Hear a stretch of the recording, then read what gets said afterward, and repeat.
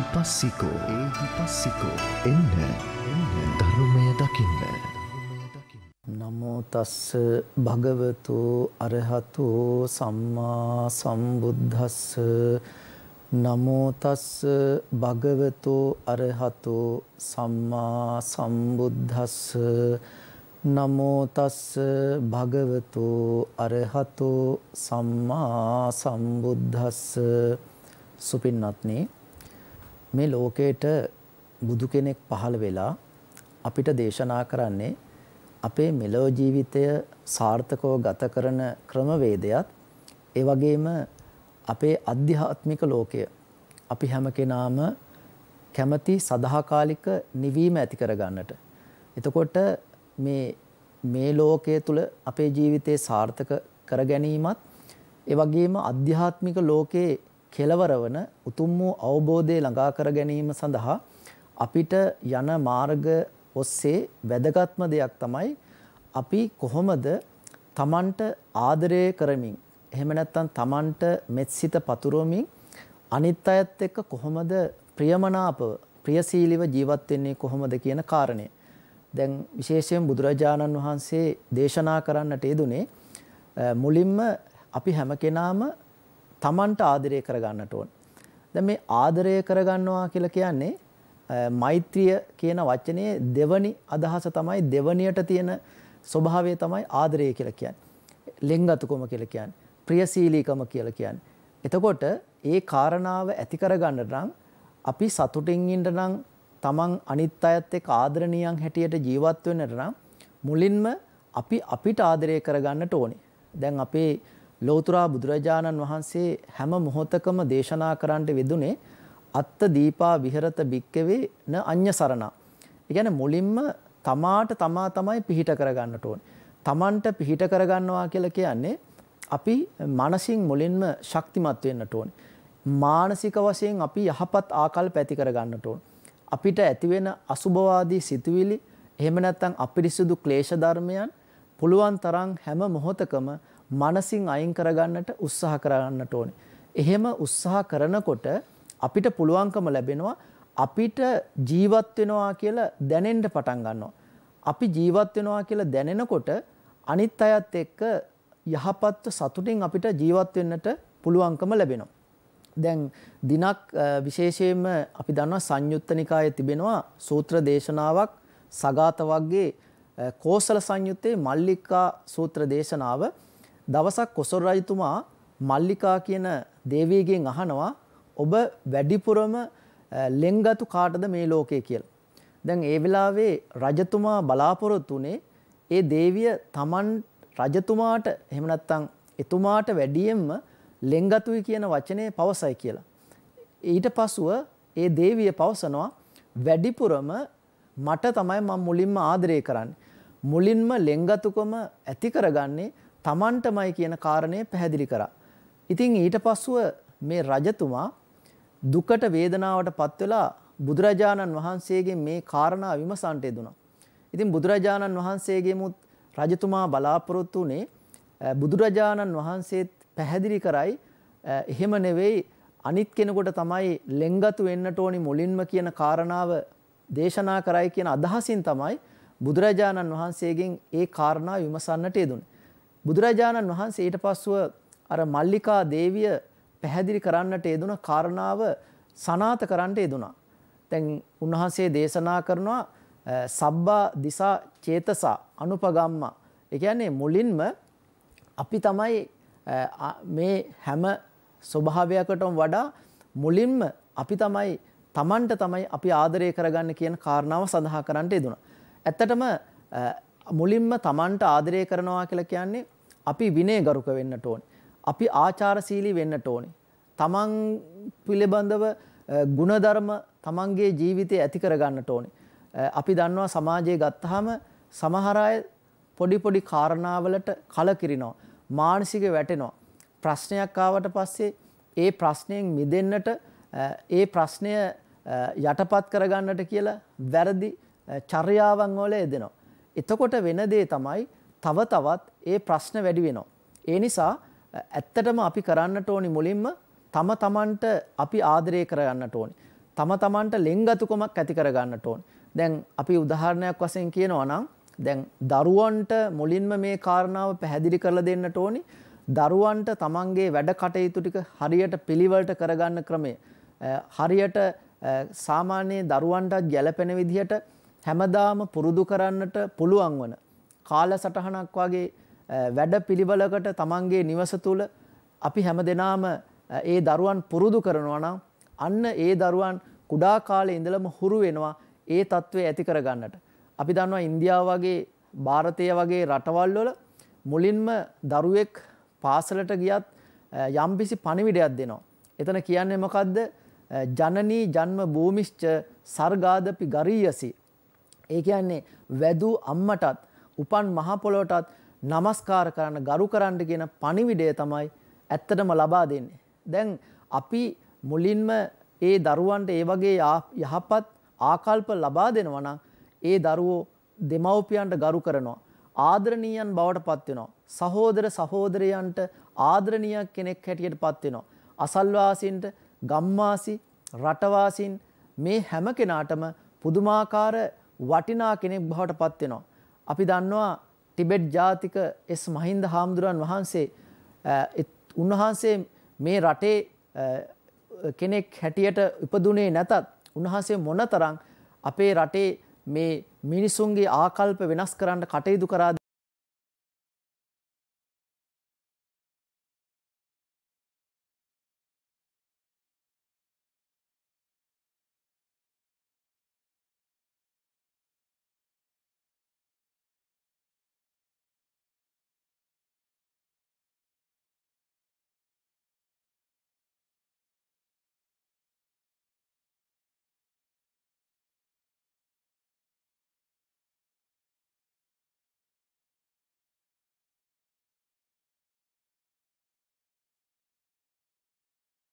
වෙන්නට පුළුවන් වෙනවා කියන කාරණාව තමයි පැහැදිලි කරන්නට යෙදුනේ.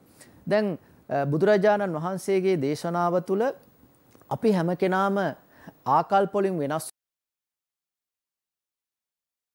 සුහදශීලී වෙන්නට නම් අපෙන් මේ යුතු යුතුයකම් මොනවද කියලා අපි තේරුම් ගන්නට ඕන. දරුවන් හැටියට අම්මා තාත්තා වෙනුවෙන් අපි කළ යුතු යුතුයකම් මොනවද? දැන් විශේෂයෙන්ම බුදුරජාණන් වහන්සේ සිංහලෝවාද සූත්‍රයේදී පැහැදිලි කරනවා ගුරුවරු ශිෂ්‍යයන් වෙනුවෙන් කළ යුතු දේවල්. ඒ වගේම අම්මා තාත්තා දරුවන් අතර විය යුතු යුතුයකම්. ඒ වගේම තමන්ගේ ස්වාමියා එහෙම නැත්නම් තමන් කොහේ හරි වැඩ කරනවා නම් එතන ඒ ස්වාමියා ඒ අනිකුත් අය සේවක සේවිය අය වෙනුවෙන් කළ යුතු යුතුයකම්. මේ දාස කම්කරුවාදී මේ අය කළ යුතු යුතුයකම්. එතකොට මේ විදිහට දීඝනිකායේ 31 වන සූත්‍රය තුල පැහැදිලි කරන්නේ තම තමන් අනිත් අය වෙනුවෙන් යම්කිසි යුතුයකමක් කරනවා නම් එතන ඒ සම්බන්ධතාව පවතිනවා. දැන් අපි සමාජයේ දකින දෙයක් තමයි ගොඩක් අය අගය කරන්න නැති ප්‍රශ්නයක් තියෙනවා. උන්වහන්සේ බුදුන් වහන්සේ හැම වෙලේම දේශනා කරන්නට යෙදුනේ සම්මානනාය. අනිත් අය අගය කරන්න. කිසිම වෙලාවක න අනවමානනාය. අවමන් කරන්න එපා. අගය කරන්න ඕනි, අවමන් කරන්න ඕනි. ධෛර්ය ධෛර්යයක් ලබා දෙන්නට ඕනි. මොකද අපි හැම කෙනාම ඉපදෙන්නේ විවිධ විභවයන් එක්ක. දැන් අපි ගත්තාම දරුවෝ ගත්තාම කුඩා කාලේ හැම දරුවම එක වගේ හැකියාවන් වලින් යුක්ත නැහැනේ. ඒ කියන්නේ එකම හැකියාවන් වලින් යුක්ත දරුවෝ නෙවෙයි ගෙදරක ඉන්නේ. එතකොට විවිධ හැකියාවන් වල දරුවෝ ඉන්න පුළුවන්. එතකොට ඒ දරුවන්ගේ ඒ හැකියාවන් මතුවෙන විදිහට පරිසරයක් අපි ගොඩන ගන්නට ඕන. කිසිම වෙලාවක අපි දන්නවා ආර්ය පරේෂණ සූත්‍රයේ උනත් දේශනා කරන්නේ කිසිම වෙලාවක මජ්ක්‍ධිම නිකායේ තියෙන සූත්‍ර දේශනාව කිසිම වෙලාවක කියන මේ සංසන්දනය කරන්න හොඳ නැහැ. අරයා හොඳයි, ඔයා හොඳ නැහැ. ඔයාට ඉගෙන ගන්න බෑ. අර අර ළමයාට ඉගෙන ගන්න පුළුවන්. ඔයා තමයි ලකුණු අඩුවෙන් ගන්නෙ. මේ විදිහට කියන්නට හොඳ නැහැ. ඒ වගේම ප්‍රසිද්ධියේ කිසිම වෙලාවක දඬුවම් දෙන්න හොඳ නැහැ. කුඩා දරුවෙක් අතින් වරදක් වුණත් ඒ දරුවට අපි යම්කිසි දඬුවමක් දෙනවා නම් ඒ දරුවාට මානසික වශයෙන් පීඩාවක් ඇති නොවන විදිහට ඒ දඬුවම ලබා දෙන්නට ඕනේ පිරිස ඉන්නකොට නෙවෙයි. ඒ වගේම ඒ ඒ කියන්නේ එහෙම වුණාම වෙන්නේ ඒගොල්ලෝ පෞරුෂත්වයෙන් වැටෙන්න පුළුවන්. මානසික වැද වැටෙනවා. දැන් විශේෂයෙන්ම අපි දන්නවා සිංහලවාද සූත්‍රයේ දේශනා කරන්නේ විශේෂයෙන්ම සිප්පන් සික්කාපෙන්ති කල්යාණයේ නිවේසෙන්ති පාපා නිවාරෙන්ති කියන මේ කාරණාවලින් මුලින්ම කියන්නේ හොඳ නරක පැහැදිලි කර දෙන්න කියලන. ඊට පස්සේ තමයි අධ්‍යාපනය ලබා දෙන්නට ඕන. හොඳ නරක මොකක්ද කියන දෙයත් එක්ක තමයි අපි අධ්‍යාපනය ලබා දෙන්නට ඕන. දැන් ඔය ඇරිස්ටෝටල් කියන පණිවිඩ පණිවරයා කියනවා මුලින්ම හදවත තමයි හදන්නට ඕන. හදවතත් එක්ක ඔළුව හදන්න ඕන. ඊට පස්සේ තමයි හොඳ ප්‍රායෝගික මිනිසෙක් බවට පත් වෙනවා කියන කාරණාව දේශන පැහැදිලි කරන්නට යෙදුනේ. මොකද මේ හැම කාරණාවක්ම බුදුරජාණන් වහන්සේ අපිට මැනවින්ම දේශනා කරන්නට යෙදුණා. එතකොට මේ අර විදිහට ඒ දරුවන්ට ඒ ශක්තිමත් ආදරණීයන් හැටියට හොඳ පෞරුෂත්වයක් හැටියට අපිට මුලින්ම ඒ දරුවන් ගෘහස්ථය තුළම නිර්මාණය කරන්න පුළුවන්. ඒ වගේම අපි දන්නවා සාමාන්‍ය දරුවෝ ටිකක් තරුණ වෙනකොට එහෙම නැත්නම් අපි දන්න නව යෞවනියට පත් වෙනකොට අවුරුදු 12 පහු වෙනකොට දරුවන්ගේ චර්යාවන් වෙනස් වෙන්න පුළුවන්. දැන් සමහර දරුවෝ සම ඒ දරුවන්ගේ හෝමෝන වෙනස් වෙනකොට සමහර විට පිරිමි දරුවෙක් නම් ස්වභාවිකම ගෑනු දරුවෙක් දිහා බලන්න පුළුවන්. ගෑනු දරුවෙක් නම් ස්වභාවික පිරිමි දරුවෙක් දිහා බලන්න පුළුවන්. ඒක ඒ දරුවා හිතලම කරන දෙයක් නෙවෙයි. ඒක ඒ දරුවන්ගේ පරිණත වෙනකොට හෝමෝන වෙනස් වීමත් එක්ක සිද්ධ වෙන දෙයක්. එතකොට අපි එහෙම දෙයක් බලලා කලබල වෙනවා නම් අපි කියමු සමහර විට පාසල් වල දරුවෝ ඒවා අගය කරනව නෙවෙයි. සමහරට ඒ වගේ දේවල් වෙන්න පුළුවන්. නමුත් ගුරුවරු ඒ වගේම ඒ සඳහා ඉන්න වැඩිහිටියෝ ඒ දරුවන්ගේ මනස තේරුම් ගන්න ඕනේ. ප්‍රසිද්ධියේ චෝදනා කරන එක, දොස් පරොස් කියන එක, මේ නරකම කෙනෙක් කියලා විවේචනය කරනවට වඩා ඒ දරුවන්ට හරි මාර්ගය කියලා දෙන්නාම ඒ දරුවෝ තේරුම් ගන්නවා කොහොමද ජීවිතේ හරියාකාරව ගොඩනගා ගන්නට ඕන. ඒ දරුවන්ට තේරෙන්ට පටන් ගන්නවා අපි මේ කාලය තුළ වැඩිපුර අධ්‍යාපනයට තමයි යොමුවෙන්න්නට ඕන. මේවා සාමාන්‍ය මානසික ස්වභාවයන් කියලා ඒ දරුවන්ට වැටහෙන්ට පටන් ගන්නවා. මොකද බුදුරජාණන් වහන්සේගේ මහා භාරතය තුළත් අපි දන්නවා විවිධ චරිත උන්වහන්සේට මුණගහෙලා තියෙනවා. උන්වහන්සේ විවිධ එකයන්නේ ස්වභාවයන් වලින් යුත්ත චරිත හම්බෙලා තියෙනවා. දැන් අපි දන්නවා අනේ පිඩි සිටුතුමාට පුතෙක් හිටියා.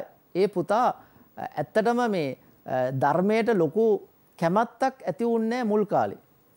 බුදුරජාණන් වහන්සේගේ ඒ මඟ පෙන්වීම මත ක්‍රමානුකූලව තමයි ඒ දරුවට ඒ යහපත ඒ පණිවිඩ ඒ මාර්ගය ළඟා කර දෙන්නට කටයුතු කරන්නට යෙදුණා. එතකොට මේ දේවල් වලින් කියන දේ තමයි අපි හැම කෙනාම එකිනෙකා තේරුම් ගන්නට ඕනේ. දැන් අපි කියමු දරුවෝ පොඩි පොඩි අඩුපාඩුකම් වුණා කියලා ගොඩක් වැඩිහිටියෝ සමහර වෙලට හිතන්න පුළුවන් ඒගොල්ලෝ වගේම මූණ නිසා දරුවොත් ඒ විදිහටම හිතන්න ඕනේ කියලා. එහෙම හිතන්නේ එහෙම දරුවෝ හිතන්නේ නැහැ. සාමාන්‍යයෙන් දරුවෝ කියලා කියන්නේ අවුරුදු 18ක් විතරනකම් මේ මනස මොලේ වර්ධනය වෙමින් පවතින උදවිය හැටියට තමයි සාකච්ඡා කරන්නේ. ඉතින් ඒ නිසා අපි ඒ අඩුපාඩුකම් නිවරදිව පෙන්වා දෙන්නට ඕන. ඒවා පෙන්නලා යහමඟ කියලා දෙන්නට අපි උත්සාහ ගන්නට ඕන. විශේෂයෙන්ම කිසිම වෙලාවක අසුභවාදී ආකල්ප දෙන්නට එපා. බුදුන් වහන්සේ දේශනා කරන්නේ මේ මනස තමයි වැදගත් වන්නේ. මනෝ පුබ්බං ගමා ධම්මා. මනෝ සෙට්ටා මනෝමය. යම්බිසි කෙනෙක් මානසික වශයෙන් ශක්තිමත් වෙනවා නම් අන්නේ කෙනාගේ ජීවිතය සාර්ථක කරගන්න පුළුවන් වෙනවා. දැන් දරුවෝ ආදරණීයම් බවට පත්වන්නේ දරුවන්ට සුහදශීලී වෙන්නට ඕන. ලෙන්ගතු වෙන්නට ඕන. සමහර අපි දන්නවා දරුවන්ට අනවශ්‍ය සැරපරුස් පෙන්නමින් කලබල ස්වභාවය පෙන්නමින් කුඩා දෙයකටත් පුදුමාකාර විදිහට කෑකොස්සන් ගහනකොට ඒ දරුව දුරස් වෙන්න පටන් ගන්නවා. ඒ gedara අම්මා තාත්තා සහෝදර සහෝදරියන් ළඟ නැති සෙනෙහස එතකොට තමයි වෙන තැන් වලින් බලාපොරොත්තු වෙන්නේ. ඉතින් ඒ නිසා වැඩිහිටියන් හැටියට අපේ වැදගත්ම සම්පත වෙන දරුවන් නිර්මාණය කරන්නේ කොහොමද කියන එක අපි ධර්මානුකූලව මේ හිමිදිරි උදෑසන ඔබ අප හැමදෙනාම ගැඹුරින් හිතන්නට ඕන. ඒ වගේම ගෙදරක වැදගත්ම දෙදෙනා තමයි අම්මා තාත්තා කියලා කියන්නේ. ඒ කියන්නේ බිරිඳ ස්වාමියා කියන දෙදෙනා. ඇතර මේ දෙදෙනත් පුදුමාකාර විදිහට ලෙන්ගතුකමක් ඇති කරගන්නට ඕන. කැපවීමක් තියෙන්නට ඕන දෙන්නා තුලම. ඒ කියන්නේ අපි දන්නවා සමහරට අදහස් ගැලපෙන්නේ නැති වෙන්න පුළුවන්. ඒ අදහස් ගැලපෙන්නේ නැතුනම ඒ අදහස් ගලපා ගන්නට ඕන. 100ට 100ක්ම නානත්ත කායා නානත්ත සංඥා කියන විදිහට හැම කෙනාම ගැළපෙන අය නෙවෙයිනේ මුණ ගැහෙන්නේ. අපි ගලපා ගන්නට ඕන. ඒ සඳහා කැප වෙන්නට ඕන. එකිනෙකා උදව් උපකාර කර ගන්න ඕන. අගය කරන්නට ඕන. කිසිම වෙලාවක අපහාස කරන්නට හොඳ නැහැ. අපහාස කරලා පීඩාවට පත් කරන්නට හොඳ නැහැ. මොකද අපි වැඩි කාලයක් ජීවත් වෙන්නේ නැහැ. මේ මනුස්ස ජීවිතේ ඊ타ත්ම කෙටි. ඒ කාලයන් වල අපි පුදුමාකාර විදිහට සෙනෙහසින් ඉඳ ඉඳ තමයි අපිට පුළුවන්කම ලැබෙන්නේ අපේ ජීවිතය සතුටින් සමාදානයෙන් ගත කරලා යම්බිසි ගෙදරක සතුට තියෙනවා ඒ ගෙදර දියුණු වෙන්න පටන් ගන්නවා. යම්බිසි ගෙදරක සාමකාමී බව තියෙනවා ඒ ගෙදර දරුවෝ ඉගෙන ගන්නවා. එහෙම නැත්නම් කෑකොස්සන් ගහමින් කලබල වෙලා කටයුතු කරන්න කරන්න ඒ ගෙදර සමගිය එන්න එන්න අඩු වෙන්න පටන් ගන්නවා. අසමගිය තියෙන තැනක ජීවිතේ සාර්ථක කරගන්නට පුළුවන්කමක් ලැබෙන්නේ නැහැ. ඒ වගේම අපි වැඩිහිටියන් දිහාත් බලන්නට ඕනි අවබෝධයෙන් යුක්තව. අපි දන්නවා වයසට යනකොට සාමාන්‍ය කියන්නේ ළඟ දේවල් අමතක වෙනවා කියලා. ඒ කියන්නේ දැන් සමහර විට අපි කියමු ගෙදරක උදේට කෑම දුන්නාට පස්සේ පොඩි පුතාගේ ගෙදර වැඩිහිටි අම්මා කෙනෙක් ඉන්නවා කියන්නකො තාත්තා කෙනෙක් හරි.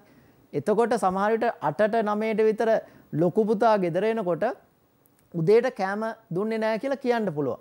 ඒකට හේතුව තමයි වැඩිහිටි ස්වභාවයට පත් වෙනකොට ළඟ දේවල් අමතක වෙන්න පුළුවන්. ඉතින් ඒ නිසා ඒ වගේම අමතක මතක ශක්තිය නැති වෙන්න පුළුවන්. වැඩිපුර කතා කරනවා වෙන්න පුළුවන්. මේ හැම දෙයක්ම ඔබ අප හැමදෙනාටම වයස්ගත වෙනකොට අත්දකින්න වෙන ස්වභාවයන් කියන එකත් තේරුම් අරගෙන අපි වැඩිහිටි අම්මා තාත්තලා දිහා වැඩිහිටියම් දිහා ඊ타ත්ම ආදරණීයන් ලෙස කටයුතු කරන්නට ඕන. ඒ නිසා බුදුන් වහන්සේ හැම වෙලෙම දේශනා කරේ ඔබ අප හැම කෙනාම මේ ජීවත් වෙන කෙටි කාලය තුල පුදුමාකාර විදිහට ලෙන්ගතුව ජීවත් වෙන්න කිසිම වෙලාවක Taman තුල අයහපත් සිතුවිලි ඇති කරගන්න එපා. ප්‍රශ්න කියනවා මේ manuss ලෝකේ හැම දිනාටම අඩු වැඩි වශයෙන් තියෙන්න පුළුවන්. ඒක තමයි මේ manuss ලෝකයේ ස්වභාවය. කිසි කෙනෙකුට ප්‍රශ්න ගැටලු නැති කෙනෙක් හොයාගන්නට බෑ. හැබැයි ඒ හැම දෙයක්ම අභියෝග හැටියට එහෙම නැත්නම් අභි කියන්නේ උසස් යෝග කියන්නේ කාලය. හොඳ කාලයන් හැටියට අපි තේරුම් අරගෙන මනසින් වැටෙන්නේ නැතුව අපි ආදරණීයන් හැටියට ජීවත් වෙන්න උත්සාහ කරන්න. අපි දන්නවා මජ්ක්‍ධිම නිකායේ තියෙනවා චුල්ල ගෝසිංහ කියන සූත්‍ර දේශනාව.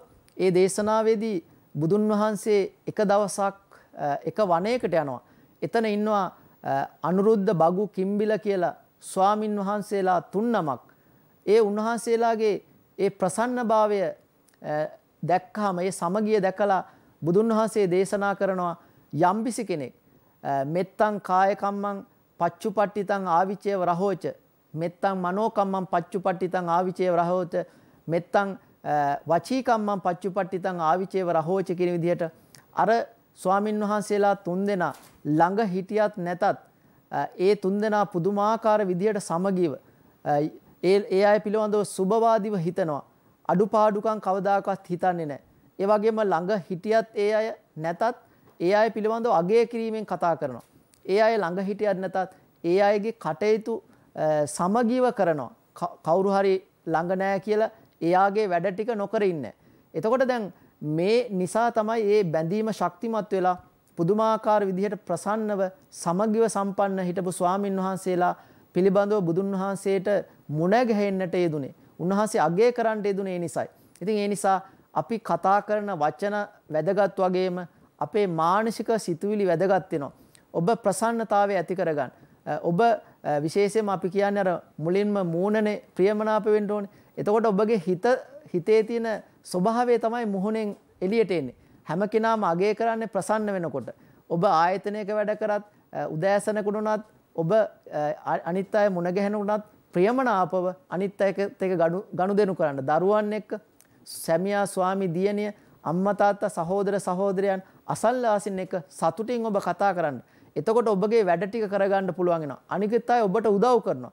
එහෙම නැතු ඔබ දුකෙන් වේදනාවෙන් ප්‍රශ්න අනිත් අයට කියනකොට ඔබ ගණන් ගන්න නැති කෙනෙක් බවට පත් වෙන්න පුළුවන්. ඒ නිසා ඔබ ප්‍රසන්න වෙන්න ඔබ ප්‍රසන්න ස්වභාවය ඔබ තුල ඇති කරගෙන ඔබගේ ජීවිතයේ අනිත් අයත් එක්ක යහපත්ව ගත කිරීම ඔබගේ ජීවිතය යහපත්ව ගත කරන්න උත්සාහ ගන්න හැටියට ඊ타ත්ම කරුණාවෙන් යුක්තව සිහිපත් කරමින් අද මේ උතුම් වූ සදහම් දේශනාවේ දායකත්වය උසලන්නට යෙදුණු පින්නතුන්ට ධර්ම දේශනාව ශ්‍රවණය කරන්නට යෙදුණු ඔබ නම් මිය පරලෝ යන්ට යෙදුණු සියලු ඥාතීන්ටත් මේ පින්පෙත් අනුමෝදන් කරුම අනුමෝදන් වෙත්වා. ඒ හැම දෙනාගේම භවගාමී ජීවිතයන් සුවපත් වේවා. උතුම් වූ නිවනින්ම සැනසේවා කියලා එයාට පින්දීමක් වශයෙන් කවුරු සාදු කියන්න.